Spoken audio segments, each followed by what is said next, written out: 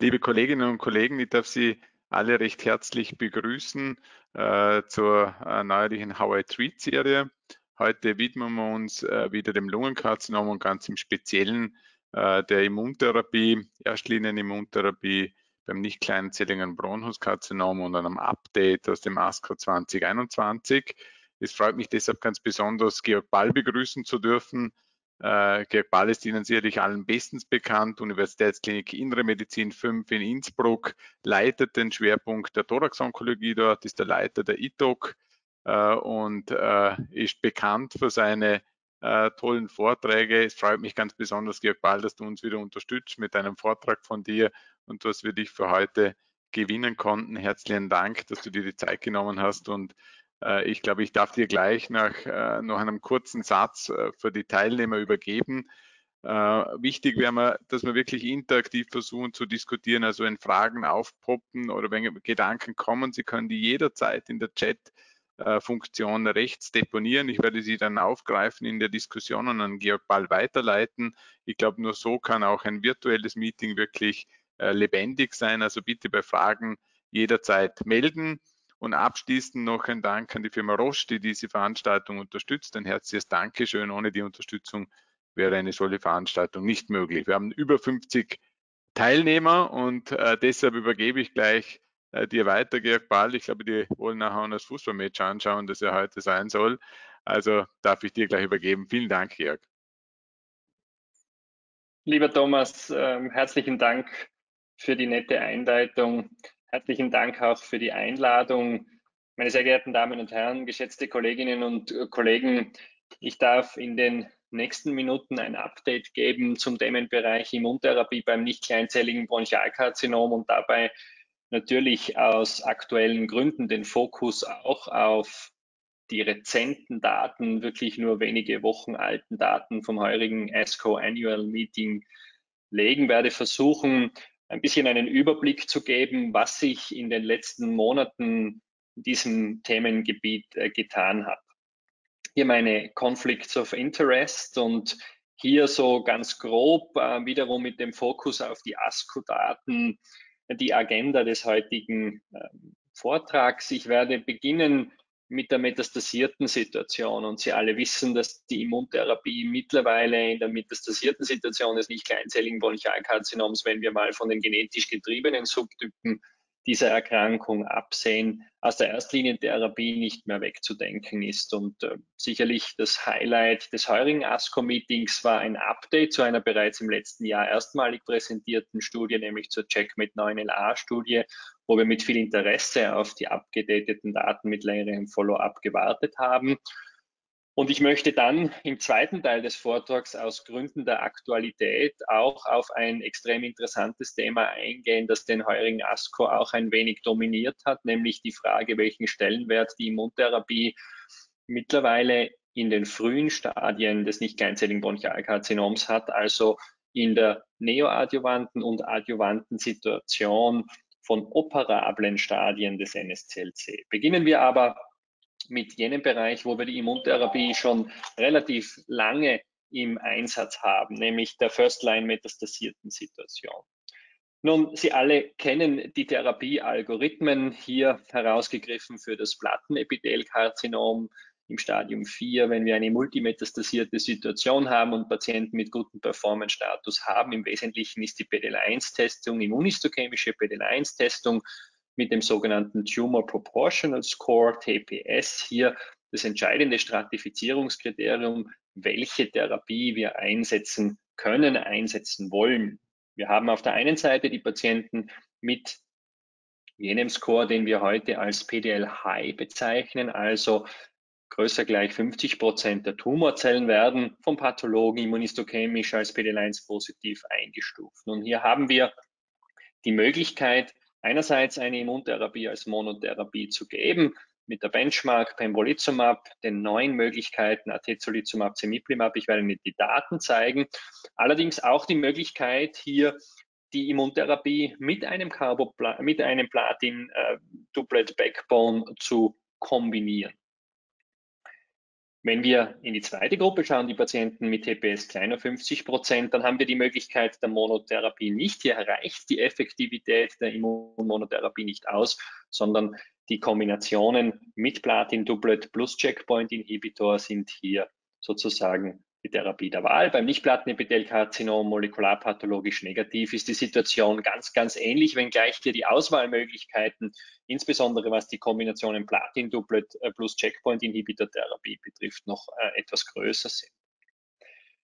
Ganz kurz, was sind denn die Benchmarks? Ich habe das erwähnt. Woran müssen wir sozusagen neue Therapieoptionen messen? Und wenn wir in dem Bereich der Monotherapie mit Checkpoint-Inhibitoren sehen, bei den Patienten mit hoher PD-1-Expression, größer, größer gleich 50 Prozent TPS, dann ist sicherlich Pembrolizumab basierend auf den Daten der Keynote 24 äh, die Benchmark. Das sind die Up das, das letzte Update äh, dieser Studie, äh, das es gibt. Sie alle wissen, das war der randomisierte Vergleich Platin-Doublet Chemotherapie versus Pembrolizumab Monotherapie.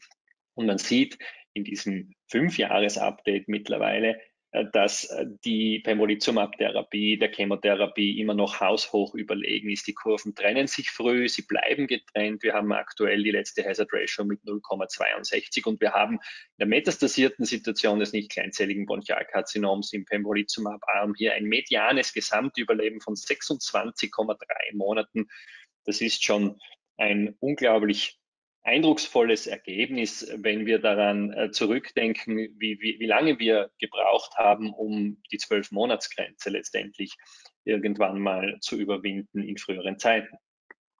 Nun, was gibt es auf diesem Sektor der Monotherapie PDL1 hochpositive Patienten Neues? Nun, es gibt äh, mit Cemiplimab einen neuen Player, ebenfalls ein Anti-PD1-Antikörper, randomisierte Phase 3 Studie zu diesem Präparat ist die Empower Lung 1 Studie. Das war eine Studie, die der Keynote 24 sehr, sehr ähnlich war. Behandlungsnaive Patienten, PD-Lines über größer gleich 50 Prozent, keine EGFR-Mutationen, ALK oder ROS1 Rearrangements, guter Performance-Status wurden randomisiert zwischen Chemotherapie Platin-Doublet versus Cemiplimab Monotherapie bis zum Progress, primärer Endpunkt Gesamtüberleben und progressionsfreies Überleben, ein Crossover im Chemotherapiearm auf Cemiplimab war in der Studie vorgesehen. Im Cemiplimab-Arm hatten die Patienten auch die Möglichkeit, nach Progress eine Chemotherapie zu bekommen und zusätzlich zur Chemotherapie Cemiplimab noch weiter fortzuführen.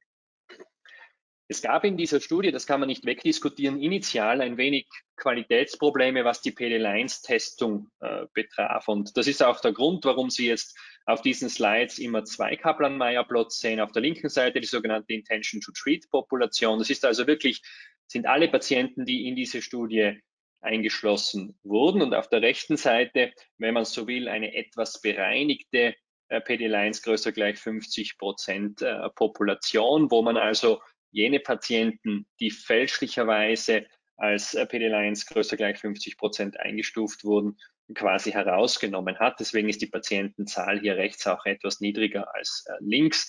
Wie auch immer man es dreht und wendet, die Ergebnisse sind nicht dramatisch unterschiedlich. Die Hazard Ratio der ITT 0,68, in der bereinigten Population 0,57, das mediane äh, Gesamtüberleben äh, im Cemiplimab-Arm links bei 22 Monaten, rechts noch nicht erreicht. Der Chemotherapie-Arm in etwa in dem Bereich, wo er auch in der Keynote 24 Studie abgeschnitten hat. Das heißt, Cemiplimab auch hier der Chemotherapie eindeutig überlegen. Das war auch in den meisten Subgruppen so. Ich möchte Sie auf eine Subgruppe vielleicht besonders hinweisen, die hier ein wenig heraussticht das ist die Subgruppe der Plattenepithelkarzinom-Patienten.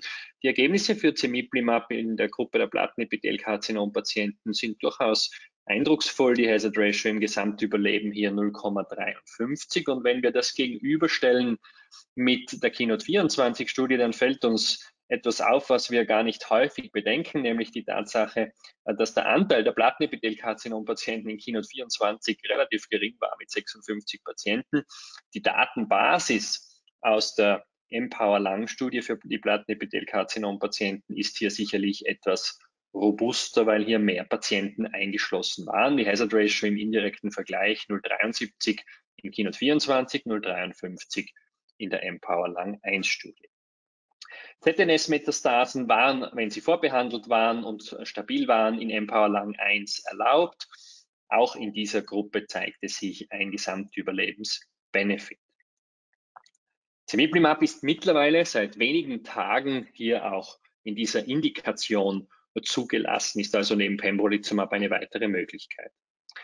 Die dritte Studie, die ich Ihnen in Erinnerung rufen möchte, Sie kennen das Protokoll und das Design natürlich, ist die IMPOWER 110 Studie, experimentelles äh, Compound hier Atezolizumab, also ein Anti-PDL1 Antikörper. Hier waren äh, Patienten erlaubt, die PDL1 sozusagen selektioniert waren. PDL1 musste nach dem von Roche entwickelten TCIC-Score mit dem SP142 Immunistochemie-Antikörper zumindest in der Stufe 1 positiv sein. Das heißt, hier wurden Patienten eingeschlossen, die entweder oder oder auch in beiden Bereichen, das heißt an den Tumorzellen und oder an den Immunzellen als PDL1 positiv eingestuft waren. Das heißt, es war ein bisschen ein anders selektioniertes Patientengut. Ähm, der Vergleich war ähnlich, Platin-Doublet versus Atezolizumab. Monotherapie in der Studie war kein Crossover vom Studiendesign her vorgesehen. Primärer Endpunkt war das Gesamtüberleben in der sogenannten Wildtyppopulation, also nach Ausschluss der Patienten mit genetischen Treibern. Und das war das primäre publizierte Ergebnis für die Patientengruppe mit hoher PD-1-Positivität, das heißt also ein Score von drei, entweder auf den Tumorzellen und oder den Immunzellen. Auch hier sieht man, wenn man PD-1 selektioniert, dann kann eine äh, Immuntherapie als Monotherapie der Chemotherapie durchaus überlegen sein. Die Hazard Ratio hier 0,59, medianes Gesamtüberleben von 13,1 auf 20,2 Monate verlängert. Es gibt muss man dazu sagen, ein Update äh, zu dieser ähm, Analyse der Hoch-PD-1 positiven Patienten vom WCLC im Jänner 2021. Da geht die statistische Signifikanz in dieser Analyse verloren. Die Hazard Ratio liegt bei 0,76. Die Crossover-Rate in dieser Patientengruppe, also von Chemotherapie auf Immuntherapie, lag bei knapp 35 Prozent. Nun, diese PD-1-Testung mit dem SP142-Assay ist etwas, was sich in der Praxis nicht durchgesetzt hat, weil wir es bisher sozusagen auch für unsere Therapieentscheidungen nicht benötigt haben. Deswegen war es naheliegend, dass man versucht, diese Patientenpopulation sozusagen mit einem anderen diagnostischen Assay nachzutesten. Und einer der gebräuchlichsten Assays, vor allem jener Assay, der hier für die Pembrolizumab-Studien in aller Regel verwendet wurde, ist der 22C3 PD-Lines Essay und man hat sozusagen die Population der Studie hier nochmal mit diesem Essay nachgetestet und dann jene Patienten in die Analyse eingeschlossen, die mit 22C3 äh, eingestuft wurden als TPS größer gleich 50 Prozent. Und auch hier sieht man die Hazard Ratio 0,60 zugunsten von Atezolizumab, auch ein statistisch signifikantes Ergebnis. Das mediane Gesamtüberleben 11 versus 20,2 Monate. Nun, wir haben also drei Möglichkeiten, drei Studien, keinen Head-to-Head-Vergleich, wenn wir das tun, was wir nicht tun dürfen, aber tun müssen, nämlich indirekt die Studien äh, nebeneinander stellen, dann sieht man, dass die Ergebnisse durchaus ähnlich sind. Hazard Ratio im Gesamtüberleben, im progressionsfreien Überleben, der zusätzliche Nutzen, was ähm, die Erhöhung der Response-Rate anbelangt. Was das Crossover betrifft in der Gesamtstudie, ja, hinkt hier die IMPA 110 Studie etwas hinter den anderen Studien nach, was sicher ein gewisser Wermutstropfen in der Beurteilung der Daten ist. Je höher das Risk der, äh, der Crossover ist und äh, bei erhaltener statistischer Signifikanz des Gesamtüberlebens, umso robuster, muss man sagen, werden die Daten. Nun gehen wir äh, in den Bereich der PD-Lines kleiner 50 Prozent ähm, Patientenpopulation und hier sind es ohne Zweifel auch wiederum die Keynote-Studien mit Pembrolizumab, die sozusagen unsere Benchmark darstellen, an der wir neue Optionen messen müssen. Keynote 189 für die nicht squamösen Patienten. Das ist das allerletzte Update äh, zu dieser Studie auch vom WCLC Anfang dieses Jahres, wo man sieht, dass die Überlegenheit Chemo plus äh, Pembrolizumab in allen PD-1-Subgruppen gegeben ist, insbesondere auch in der Gruppe der PD-Lines negativen Patienten ganz rechts, TPS kleiner 1%, eine doch beeindruckende Hazard Ratio von 0,52. Für das Plattenepithelkarzinom die analoge Studie, die Keynote 407 Studie, das ist das wiederum rezenteste Update vom heurigen ELCC, also noch ein paar Monate nach dem BCLC, äh, publiziert hier die Hazard Ratio aktuell mit schon langem Follow-up 0,71. Auch hier sehen Sie, die Kurven trennen sich früh, bleiben getrennt. Medianes Gesamtüberleben 11,6 versus 17,2 Monate. Also ohne Zweifel unsere äh, Benchmark. Hier auch aufgeschlüsselt nach PD-Lines größer 1% auf der linken Seite, kleiner 1% auf der rechten Seite. Hier sieht man einen geringen Unterschied, Hazard Ratio 0,68 bei größer 1%, 0,78 bei kleiner 1%. Dieser, diese Subgruppe war dann auch letztendlich nicht mehr statistisch signifikant. Letztlich die Studie hier aber auch nicht auf eine Signifikanz in dieser Subgruppe gepowert. Nun zum ASCO 2021, beziehungsweise ein kleiner Rückblick auch auf den letztjährigen ASCO. Die Checkmate 9LA-Studie ist so etwas wie ein Herausforderer der jetzt gezeigten äh, Studien und sie verfolgt ein Konzept, nämlich das Konzept oder die Frage, ob eine duale Immuncheckpoint-Inhibition bestehend aus einem Anti-PD1-Antikörper Nivolumab plus einem Anti-CTLA4-Antikörper in Form von Ipilimumab einen Vorteil für die Patienten äh, darstellt. Checkmate 9LA war eine First-Line-Studie. Patienten mit metastasiertem NSCLC ohne EGFR-Mutationen oder ALK-Rearrangements und guten Performance-Status waren eingeschlossen.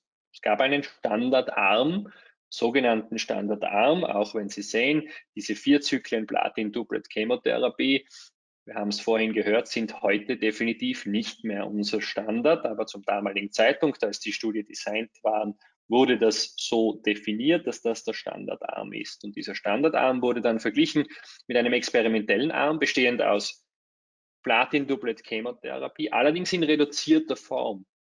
Lediglich zwei Zyklen wurden hier verabreicht und das wurde kombiniert mit einerseits Nivolumab in der Standarddosis, 360 Milligramm alle drei Wochen und Anti-CTLA4-Antikörper Ipilimumab in einer relativ im Vergleich zu den Melanom-Dosierungen niedrigen Dosierung, ein Milligramm pro Kilogramm alle sechs Wochen, basierend auf der Idee, dass die beiden Checkpoints CTLA4, PD1, PD-L1 in unterschiedlichen Phasen der Immunantwort eine Rolle spielen und man sich hier Synergien erwarten könnte, basierend auf der Tatsache, dass bei anderen Tumorentitäten, Melanom, Nierenzellkarzinom, diese Kombination durchaus interessante und spektakuläre Studienergebnisse geliefert hat. Der primäre Endpunkt der Studie war das Gesamtüberleben. Das, was ich Ihnen hier zeige, sind die Daten vom letzten Jahr. Die Studie war zum damaligen Zeitpunkt eindeutig positiv. Das heißt, der experimentelle Arm, zwei Zyklen Platin-Doublet plus dualer Checkpoint-Inhibition war besser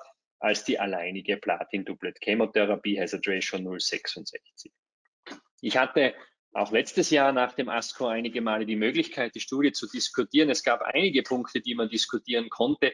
Zwei davon haben herausgestochen, nämlich erstens die Tatsache, dass die Studie ein relativ kurzes Follow-up hatte und man sich aus früheren Studien mit Nivolumab, Ipilimumab, vor allem aus der Checkmate 227 Studie, eigentlich abgeleitet hatte, dass unter Umständen die duale Checkpoint-Inhibition vor allem bei längerem Follow-up in der späten Phase der Kaplan-Meier-Kurve ähm, ihre große Stärke haben könnte.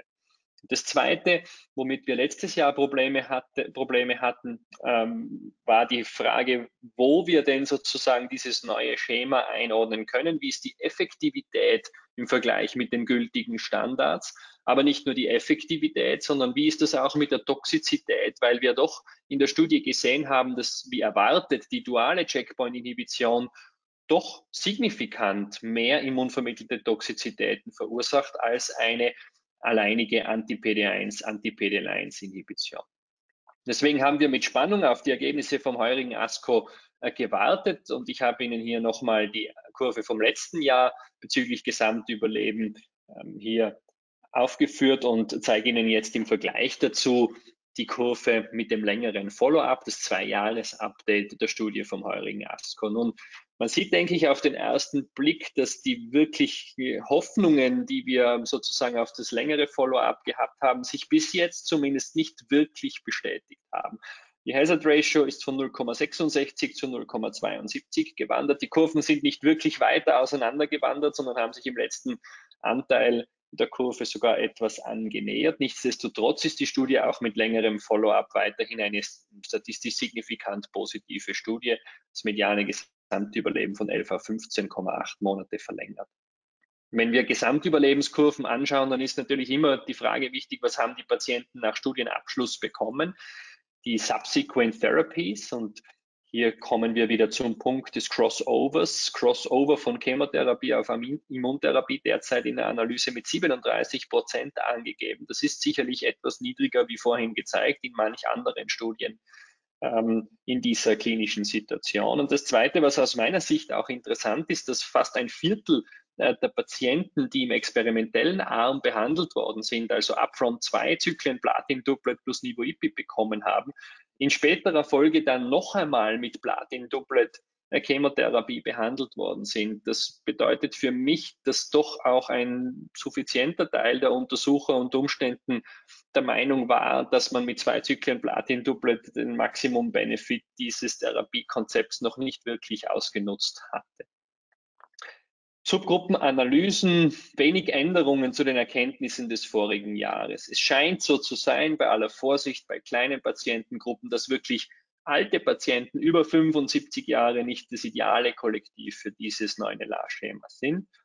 Die Nichtraucher schneiden auch hier schlechter ab als die Raucher, etwas, was bei Immuntherapie nicht wirklich überraschend ist. Und ein Punkt, den man viel natürlich diskutiert, ist die Frage, welchen Einfluss hat der PDL1-Status auf das Ergebnis? Und das etwas Überraschende in dieser Studie ist, dass egal welche PDL1-Subgruppe Sie sich hier ansehen, in dieser tabellarischen ähm, Auflistung hier PDL1 kleiner 1%, größer 1%, 1 bis 49 Prozent oder größer 50 Prozent, die Hazard Ratio ändert sich kaum 0,67 0,7. Das heißt, der BD-Line-Status scheint hier keinen Einfluss zu haben.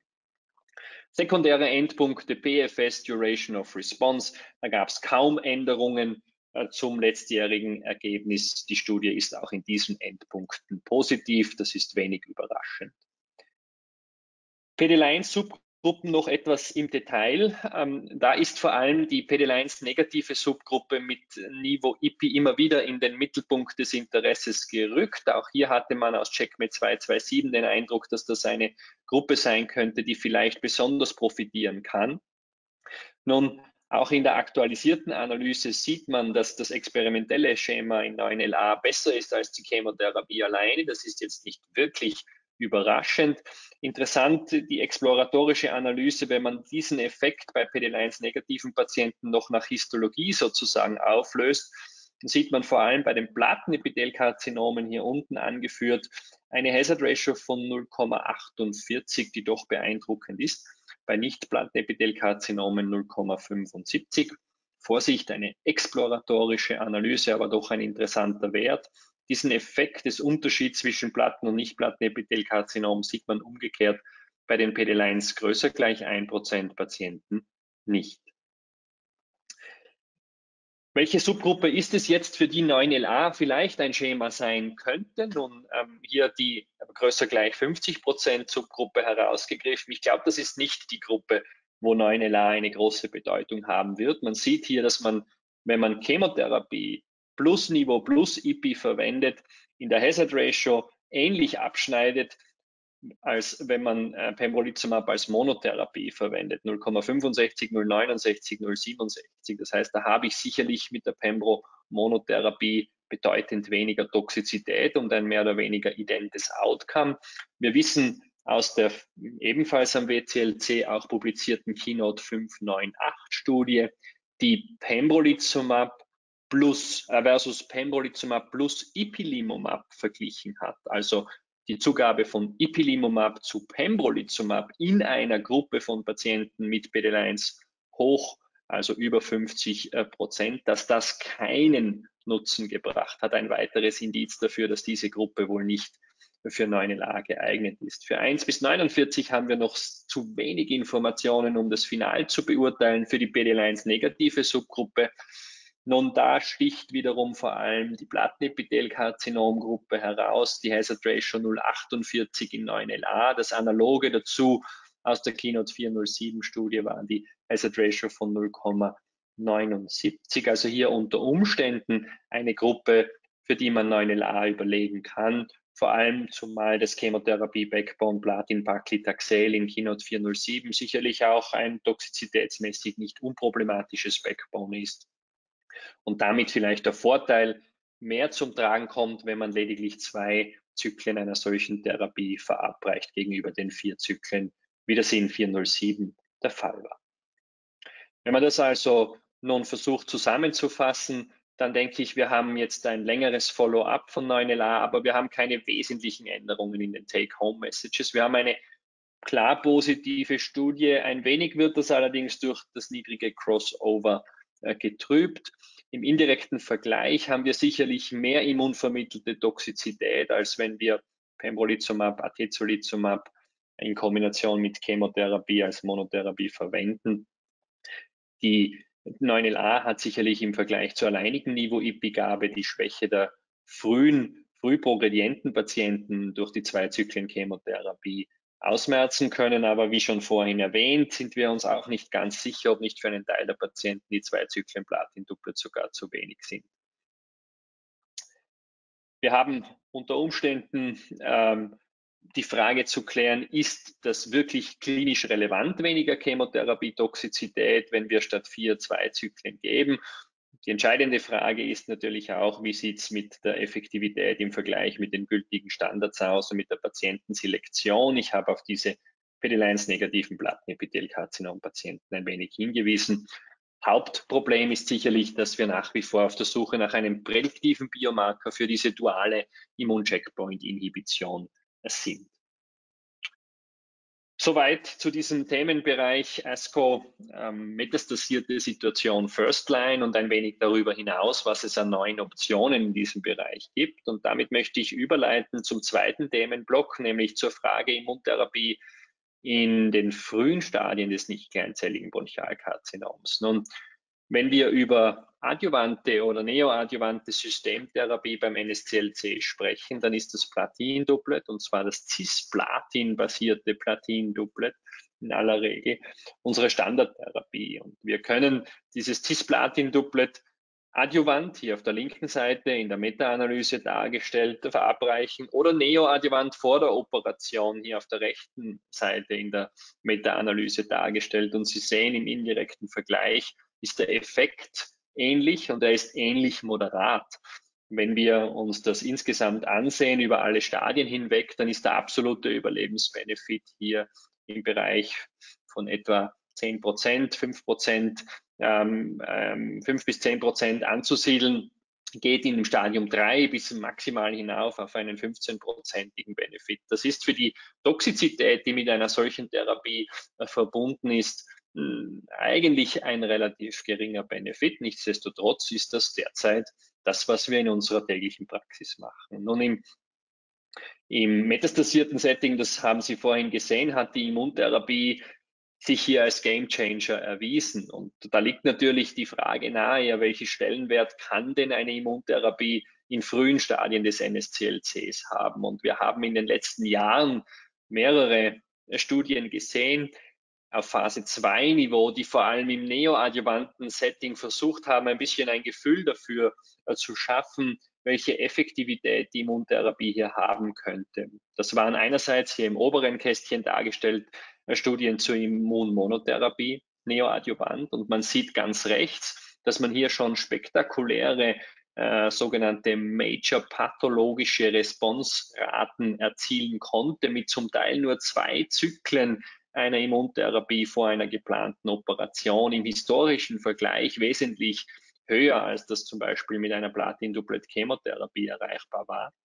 Und noch höher, hier rechts dargestellt, 83 Prozent, 57 Prozent Major Pathological Response, wenn man die Immuntherapie mit einer Platin-Doublet-Chemotherapie im neoadjuvanten Setting für drei bis vier Zyklen äh, kombiniert hat. Das war schon ein erster Hinweis, dass die Immuntherapie hier in frühen Stadien eine Rolle spielen könnte. Und es war natürlich naheliegend, dass man dann in die Phase 3 hineingegangen ist. Und in die Phase 3 ist man gegangen sowohl im neoadjuvanten Setting, wo es viele ich sage jetzt mal, theoretische Überlegungen gibt, dass das vielleicht sogar noch vielversprechender sein könnte als eine adjuvante Immuntherapie. Und es laufen eine Reihe von randomisierten Phase 3 Studien zu dieser, äh, zu diesem Konzept der neoadjuvanten Immuntherapie.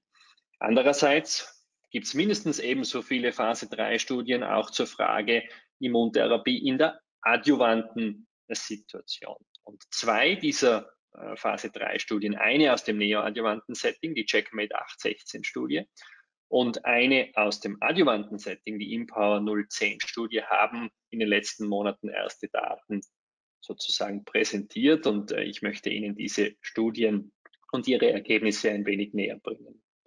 Beginnen wir mit Checkmate 816, weil die Präsentation, die Erstpräsentation etwas vorangegangen war, nämlich am AACR vor wenigen Monaten wurden die ersten Daten dazu gezeigt. Hier ist das Studiendesign. Das waren also neu diagnostizierte Patienten mit resektablem NSCLC vom Stadium 1b mit einem Primärtumor größer 4 cm bis zum Stadium 3a noch nach der alten TNM-Klassifikation äh, definiert mit gutem Performance-Status. Hier waren Patienten mit EGFR-Mutationen und Alkyl Arrangements ausgeschlossen. Das war initial eine dreiarmige Studie der Arm mit der neoadjuvanten alleinigen Nivo-Ipilimumab-Therapie, Kombinationstherapie, der wurde aber geschlossen. Zu diesem Arm liegen uns derzeit noch keine Ergebnisse vor. Was dann letztendlich übrig blieb, waren zwei Studienarme. Und zwar ein sogenannter Standardarm mit drei Zyklen Platin-Doublet-Chemotherapie und ein experimenteller Arm mit der identen Platin-Doublet-Chemotherapie und zusätzlich der Gabe von Nivolumab in der Standarddosierung. Für drei Zyklen. Dann erfolgte ein radiologisches Restaging und die Operation. Es gab dann optional noch die Möglichkeit, adjuvante Chemotherapie und auch Bestrahlung sozusagen hier anzuhängen. Das Besondere an der Studie ist, dass das die erste Studie war, die als primären Endpunkt hier nicht äh, einen Überlebensendpunkt gewählt hat, sondern, einen pathologischen Endpunkt, nämlich die pathologische Komplett Remissionsrate von einem unabhängigen pathologischen Review-Komitee äh, bestimmt. Das Event-Free Survival ist der zweite primäre Endpunkt der Studie. Diese Daten sind allerdings noch nicht reif. Sekundäre Endpunkte Major Pathological Response, Overall Survival, Time to Death or Distant Metastasis. Nun, bei den Patientencharakteristika wenig Überraschungen. Bei weitem die überwiegende Zahl der Patienten im Stadium 3a, etwa 50 zu 50 zwischen Plattenepithelkarzinom und Nicht-Plattenepithelkarzinom.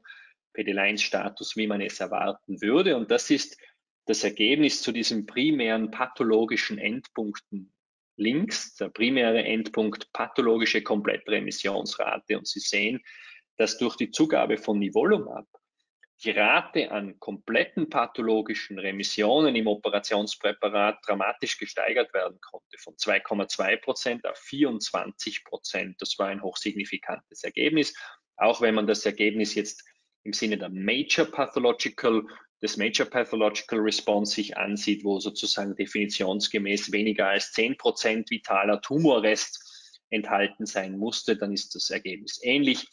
Deutlich höhere MPA MPR-Rate von 36,9 Prozent unter Niveau plus Chemo, Chemo plus Niveau versus Chemo alleine. Auch das ein deutlich signifikanter Unterschied. Subgruppenanalysen, nun, da hat sich wenig letztlich Besonderes gezeigt. Die Effekte waren ähnlich, je nachdem, welches Tumorstadium, welche Histologie man sich angesehen hat. Ein bisschen höher war der Effekt, wie man es erwarten würde, bei PD-Lines größer gleich 1% gegenüber PD-1 kleiner gleich 1%. Allerdings waren auch hier bei den PD-1 negativen Patienten die Raten an PCR höher im Niveauarm als im alleinigen Chemotherapiearm. Nun die Toxizität, hier gab es wenige Überraschungen, lediglich drei Zyklen Nivolumab sozusagen. Hier gab es immunvermittelte Toxizitäten, aber mit geringer Häufigkeit und mit einem Schweregrad, wie man das erwartet hätte aus den Erfahrungen in der metastasierten Situation. Am ASCO hat man diese Daten noch ein wenig abgedatet. Da ging es vor allem um die Frage, hat die neoadjuvante Immuntherapie einen unter Umständen negativen Einfluss auf die Operation und auf das Ergebnis und auf die Morbidität der Operation. Nun, die kurze Antwort auf diese Frage ist, dass man einen solchen negativen Einfluss nicht gesehen hat. Es gab sogar eine Tendenz in die entgegengesetzte Richtung. Man sieht, dass hier im Chemo-Plus-Niveau-Arm nicht weniger Patienten zur Operation gekommen sind, wie man das vielleicht spekulieren hätte können aufgrund von Nebenwirkungen, als dies im Chemotherapie, im alleinigen Chemotherapie-Arm der Fall war. Man sieht auch, dass die Operationsdauer bei den Patienten, die Chemo-Plus-Niveau erhalten haben, im Schnitt sogar etwas niedriger war als äh, bei den Patienten, die die alleinige Chemotherapie erhalten haben. Und auch in der Invasivität des Eingriffs gab es gewisse tendenzielle Vorteile für die Gruppe mit Chemotherapie plus äh, Nivolumab. Man sieht, dass die Zahl der minimalinvasiven Eingriffe hier etwas höher war im Arm Chemo Plus Niveau. Man sieht auch, dass die Zahl der Konversionen von minimalinvasiven Eingriff hin zu einem offenen Eingriff ähm, im Chemo Niveau Arm etwas äh, geringer war, 11 Prozent versus 20 Prozent im Stadium 3a, was doch einfach auch darauf hindeutet, äh, dass es wahrscheinlich durch die zusätzliche Immuntherapie zu einem besseren Downstaging, Downsizing ähm, in der Studie gekommen ist. Das hat man auch in den Ergebnissen äh, zum bildgebenden Response äh, zeigen können und dadurch die Operation sogar etwas erleichtert wurde und nicht äh, hier ein nachteiliger Effekt eingetreten ist, wie man es vielleicht unter Umständen auch befürchten hätte können.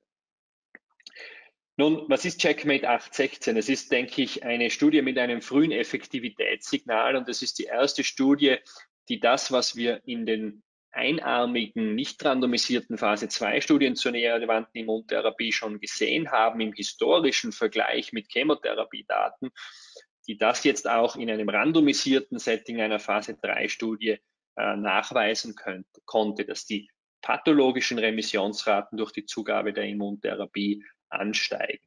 Aber ich denke, dass diese Endpunkte als Zulassungsendpunkte und damit als Endpunkte, die dazu führen, dass wir dieses Konzept ähm, in unsere tägliche Praxis überführen, nicht ausreichend sind. Wir müssen hier Survival-Endpunkte abwarten, weil wir nicht wissen, wie gut diese pathologischen Endpunkte bei Einsatz einer Immuntherapie wirklich mit dem Überleben der Patienten letztendlich dann korrelieren.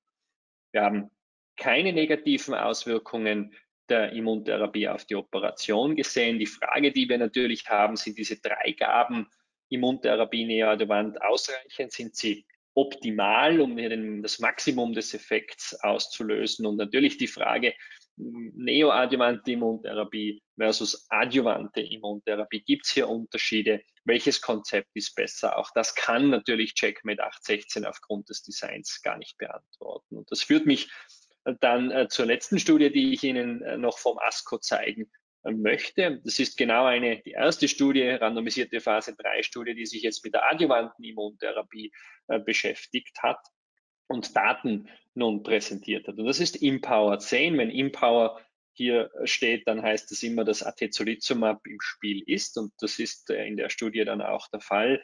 Das sind jetzt Patienten sozusagen, die im Stadium 1b bis 3a eine komplette, vollständige operative Sanierung hinter sich hatten, guten Performance-Status hatten, die dann standardmäßig adjuvante Chemotherapie erhalten haben und daran anschließend dann randomisiert wurden. Randomisiert wurden zwischen dem, was wir derzeit mit diesen Patienten machen, sozusagen eine Nachsorge hier als Best Supportive Care äh, tituliert und im experimentellen Setting einer adjuvanten Immuntherapie mit Atezolizumab in der bekannten Dosierung für ein Jahr 16 Zyklen und dann gingen diese Patienten ins Survival Follow-up.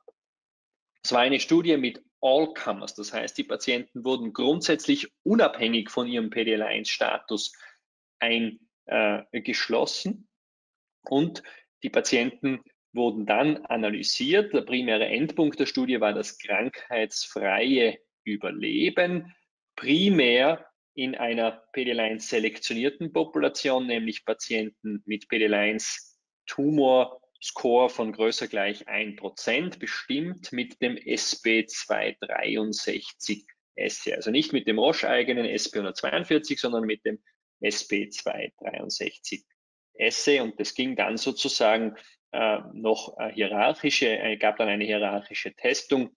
Zweiter primärer Endpunkt waren dann alle randomisierten Patienten, unabhängig von der PD-1-Expression im Stadium 2 und 3a und zu guter Letzt dann die dritte Analyse, die Intention-to-Treat-Population.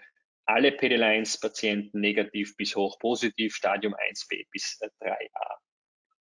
Nun zum Design einige wenige Kommentare. Best Supportive Care als Standardarm. Hier stellt sich für mich ein bisschen die Frage, hätte man hier nicht ein Placebo verwenden müssen, wenn man krankheitsfreies Überleben und nicht Gesamtüberleben als primären Endpunkt verwendet. Es gab in der Studie kein Crossover. Hier ist nicht ganz klar, was das sozusagen für die Erstbehandlung der Patienten sozusagen in einem eventuellen Relaps bedeutet. Und diese Daten, was die Patienten dann in weiterer Folge bekommen haben, liegen derzeit noch nicht vor.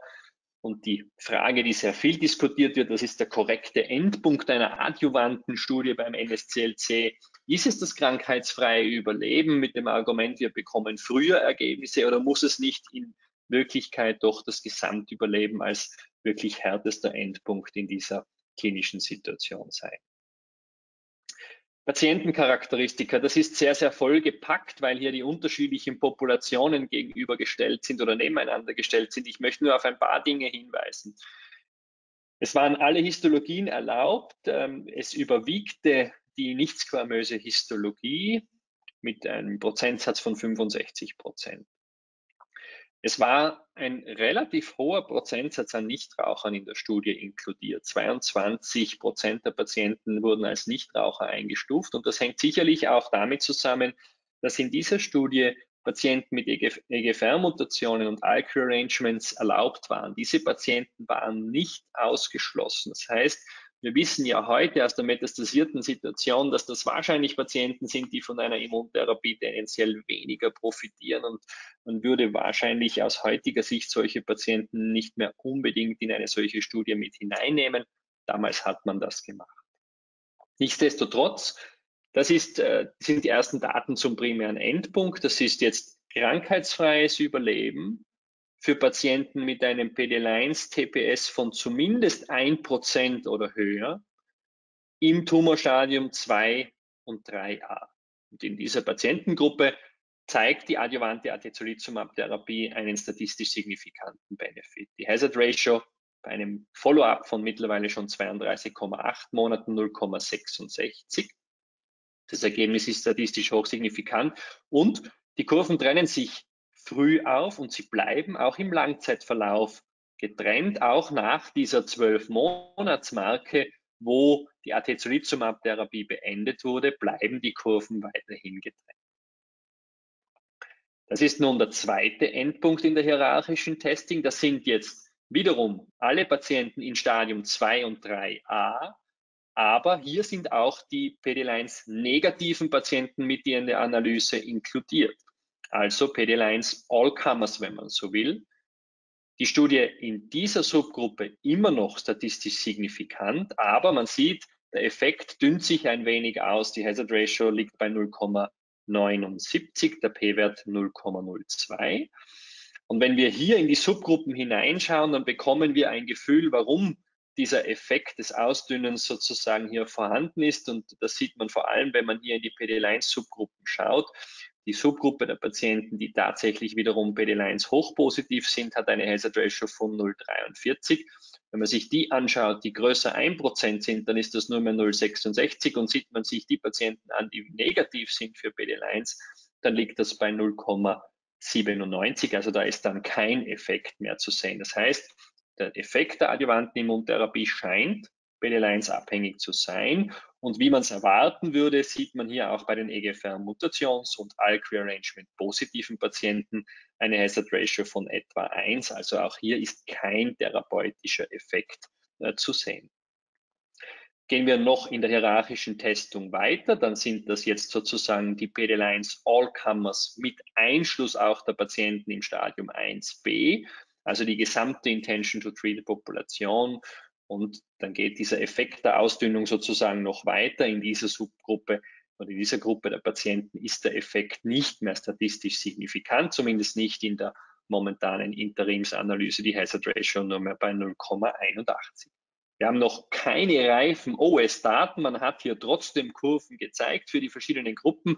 Vielleicht ein minimaler Trend in der äh, Gruppe der Patienten PD-Lines größer 1%, Stadium 2 bis 3a. In allen anderen Gruppen überlappen sich derzeit die Kurven, aber der Reifegrad dieser Daten noch sehr, sehr gering und damit die Aussagekraft nicht gegeben.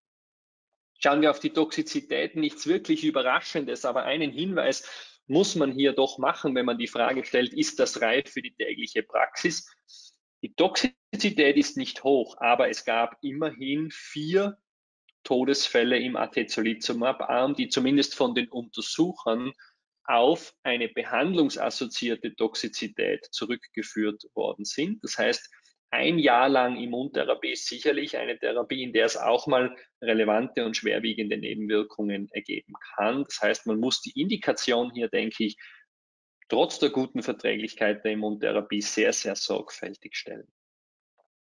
Wenn wir das versuchen zu bewerten, dann gibt es ein paar Punkte zum Design. Ich habe sie erwähnt, die man diskutieren kann. Ich glaube, die Studie hat schon ein wirklich vernünftiges Follow-up, um eine erste Beurteilung zu ermöglichen. 20 Monate über die Atezolizumab-Therapiephase hinaus. Sie hat ein klares Effektivitätssignal. Die DFS-Kurven bleiben auch im Langzeitverlauf getrennt. Und die Frage, die wir natürlich haben, welche Subgruppen profitieren wirklich? Also die Gruppe größer 50 Prozent. Wie sieht es aus mit der 1 bis 49 Prozent Gruppe? Das wurde bisher nicht äh, gezeigt. PD-L1 negativen Patienten. Wie schauen die Ergebnisse aus, wenn man die EGFR und ALK positiven Patienten hier herausrechnen würde, also eine sogenannte Wildtyp-Population analysieren würde? Die Daten zum Gesamtüberleben sind noch nicht reif. Da wäre natürlich das, was uns unter den Fingernägeln brennt, die Frage, wie schaut das Gesamtüberleben bei den Patienten mit PD-L1 größer gleich 50 Prozent aus? Diese Daten wurden ebenfalls noch nicht gezeigt. Welche Behandlungen haben die Patienten im Rezidiv bekommen? Wie war das Outcome? Wenn ich das zusammenfasse, würde ich sagen, weder die neoadjuvante noch die adjuvante Immuntherapie ist mit diesen Daten etwas, was wir ähm, ab sofort in der täglichen Praxis umsetzen können, umsetzen müssen. Wir werden hier noch weiteres äh, Follow-up, weitere Daten aus dieser und auch aus anderen Studien äh, brauchen, um eine endgültige Bewertung vornehmen zu können.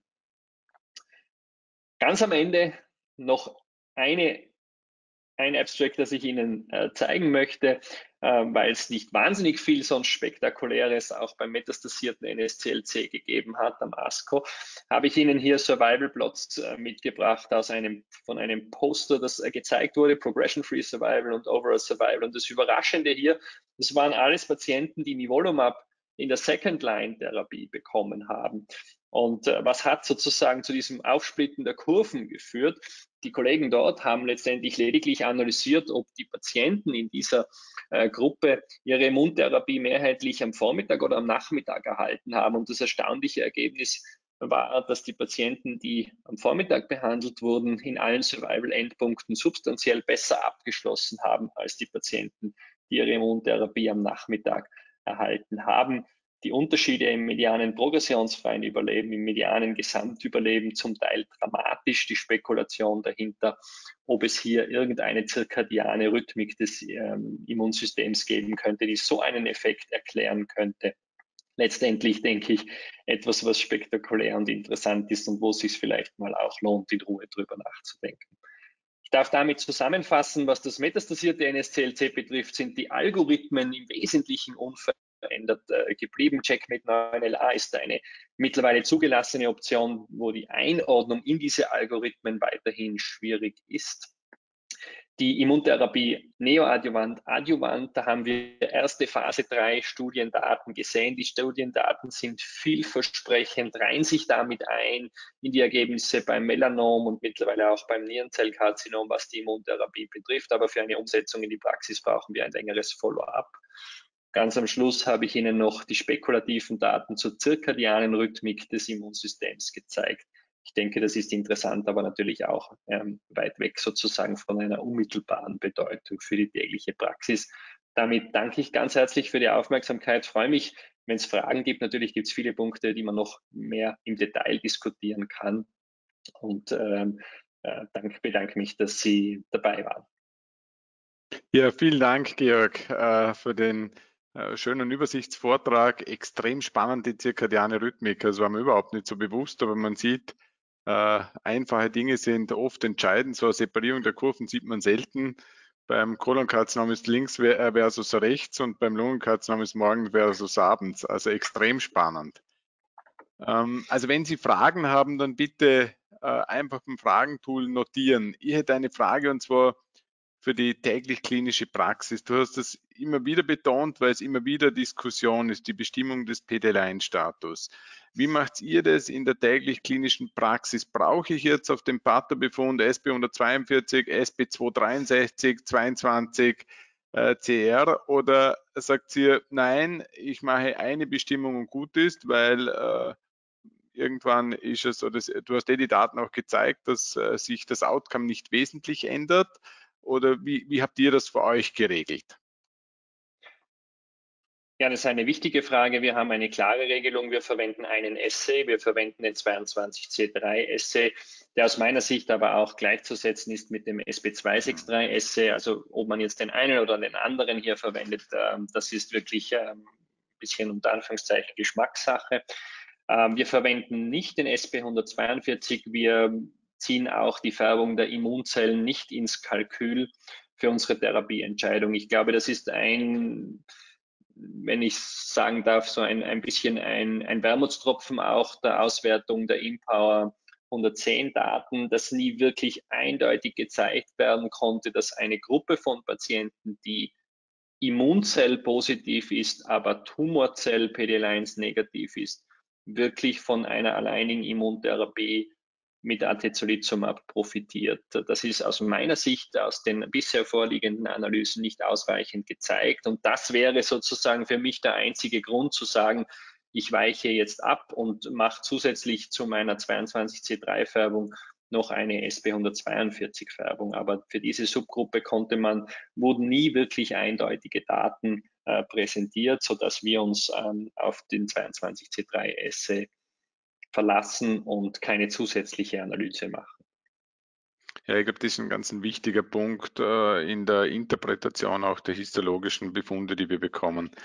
Äh, vielleicht, du hast das aufgeteilt, äh, PD-1-Expression größer 50 Prozent, hast die Daten der Keynote, der Empower und der Empower ähm, gezeigt und äh, jetzt haben wir drei Substanzen zur Verfügung, die wir in dieser Indikation einsetzen können. Und du stellst immer die Frage, du hast ein bisschen herausgearbeitet, Empower, eventuell die Plattenepithelkarzinome etwas mehr.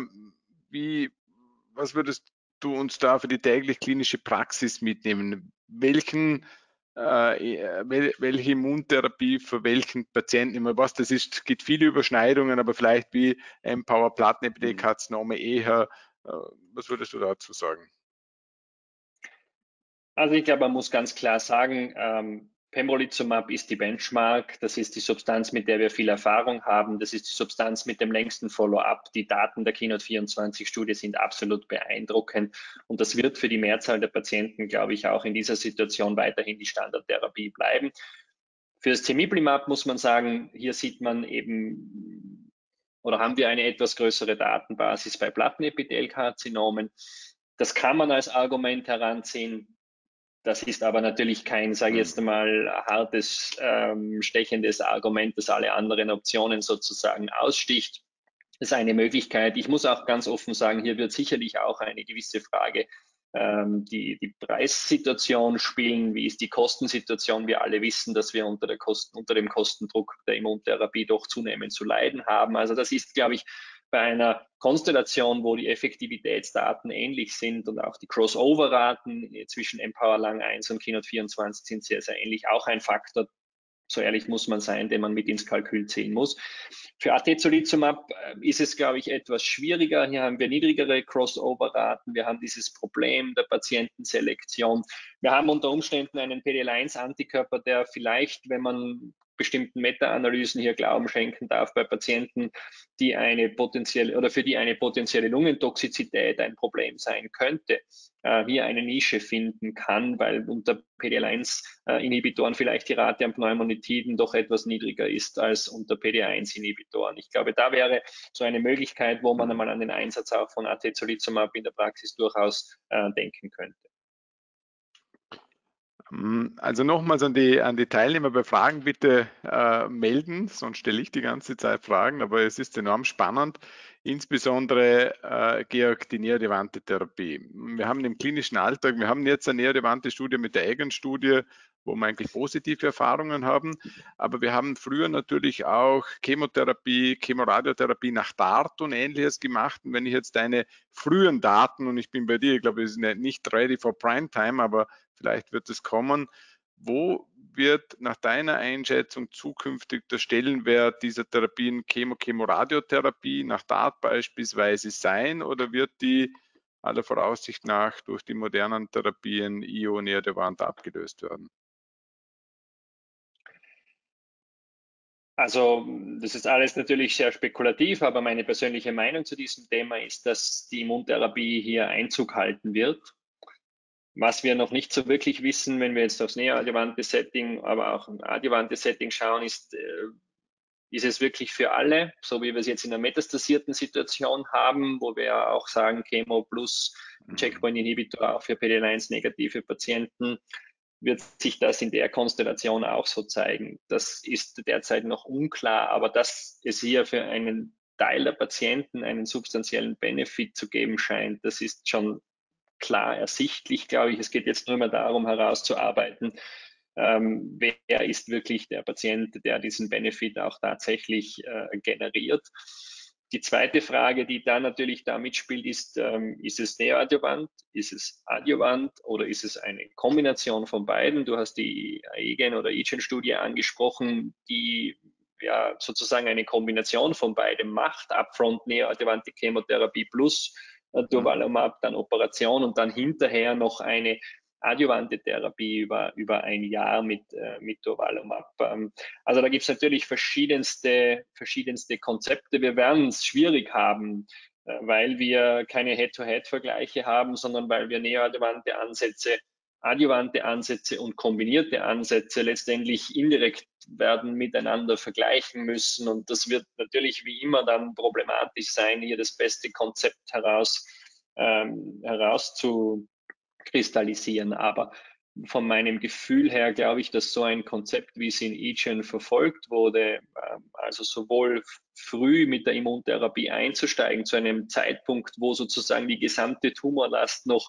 im Organismus ist, wo das Immunsystem sozusagen noch maximal mit dem äh, Tumor konfrontiert ist, hier schon diese Immunstimulation auszulösen. Und dann natürlich äh, zu versuchen, möglichst viel an Effekt durch eine noch adjuvante Immuntherapie hinterher auch äh, zu erzielen. Das ist, glaube ich, schon ein attraktives Konzept, weil es halt beide ähm, Theorien sozusagen ineinander vereint. Aber was sich dann letztendlich mhm. herausstellen wird, wird man sehen. Neoadjuvant hat immer so ein bisschen einen Beigeschmack. Wir haben auch jetzt, ich habe es gezeigt, eigentlich eine idente Effektivität zwischen neoadjuvanter und adjuvanter Chemotherapie. Aber die neoadjuvante Therapie hat sich nie durchgesetzt, weil wir eigentlich es komfortabler haben, wenn wir den Patienten upfront operieren und dann ein histologisches, pathologisches Staging für diesen Patienten haben und dann wirklich auf harter Basis die Indikation für die adjuvante Chemotherapie stellen können. Und ich glaube, das wird bei der Immuntherapie ähnlich sein.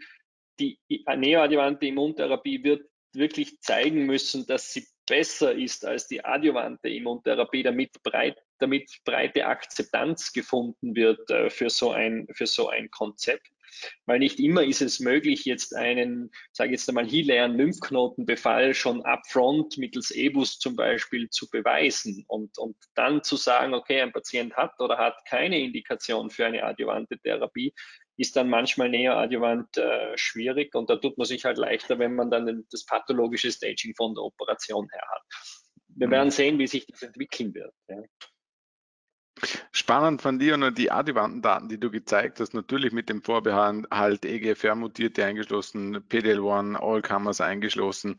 Da gab es ja im ASCO viele Präsentationen äh, zu zirkulierenden Tumor-DNA im Monitoring, egal in welcher Situation, metastasiert adjuvant. Mhm. Jetzt wissen wir alle um die Komplexität dieser zirkulierenden Tumor-DNA und dass die Diagnostik aus meinem Gesichtspunkt eine 3 für die täglich klinische Praxis mhm. ist.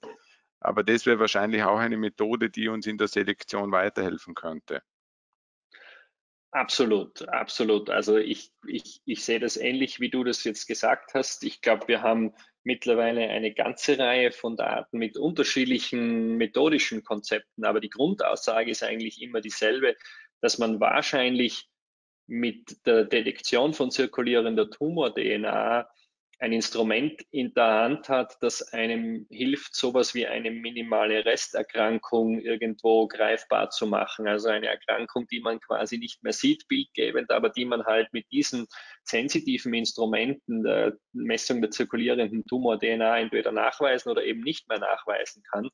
Und ich kann mir gut vorstellen von den Daten, die es jetzt gibt, dass uns das eben hilft, neben dem rein histologisch-pathologischen Staging noch einen weiteren Faktor hier einzuführen, der uns dann hilft, das Rezidivrisiko der Patienten innerhalb eines gewissen Stadiums nochmal zu unterteilen. Das heißt, dass wir dann wirklich den Patienten im Stadium 1b haben, denjenigen, der minimalen Resterkrankungsnegativ ist, sprich CT-DNA negativ ist mhm. und wahrscheinlich eine sehr gute Prognose hat und den, der zirkulierende Tumor-DNA positiv ist und der dann wahrscheinlich der ist, der ein hohes Rezidivrisiko hat und der wahrscheinlich dann auch nach, so wie wir es heute sehen, zumindest von einer intensiveren adjuvanten Therapie mehr profitiert. Also ich glaube, diese, die, in diese Richtung geht's ja. Es erinnert mich so ein bisschen äh, an, auch an diesen Immunoscore beim Kolonkarzinom, mhm. wo man ja auch einen ähnlichen Effekt einfach sieht, dass man innerhalb eines TNM-Stadiums dann sozusagen nochmal Gruppen unterteilen kann, die sich zum Teil sehr substanziell in ihrem Rezidivrisiko unterscheiden. Mhm. Und das ist ja schon ein ganz, ganz wichtiger Punkt, weil das Instrument, das wir heute verwenden, um die Indikation für eine adjuvante Therapie zu stellen, dieses reine TNM-Stadium ja immer noch ein relativ grobes Instrument ist. Und wir sehen Patienten im Stadium 1b, die rezidivieren und wir sehen Patienten im Stadium 3a, die nicht rezidivieren. Mhm. Und äh, wir sind derzeit nicht in der Lage, sozusagen das besser zuzuordnen. Und da ist die Messung der zirkulierenden Tumor-DNA wohl im Moment jenes Tool, das da absolut am vielversprechendsten ist, um da einen Schritt weiterzukommen. Mhm. Ja, vielen herzlichen Dank, Georg. Äh, ich glaube, es war ein spannender Vortrag, spannende Diskussion. Ich glaube, wir werden noch viel sehen in der Entwicklung äh, des Lungenkarzinoms. Ich möchte mich bei allen Teilnehmern, wir waren bis zu 60 Teilnehmer heute, also es zeigt auch äh, das spannende Thema. Äh, also vielen herzlichen Dank an die Teilnehmer, vielen herzlichen Dank an die Firma Roche für die Unterstützung und an Eugen Preuß und sein Team. Und noch einmal als abschließend herzlichen Dank an dich, Georg, für den tollen Vortrag und die Diskussion. Ich wünsche allen nun einen schönen Abend und herzlichen Dank.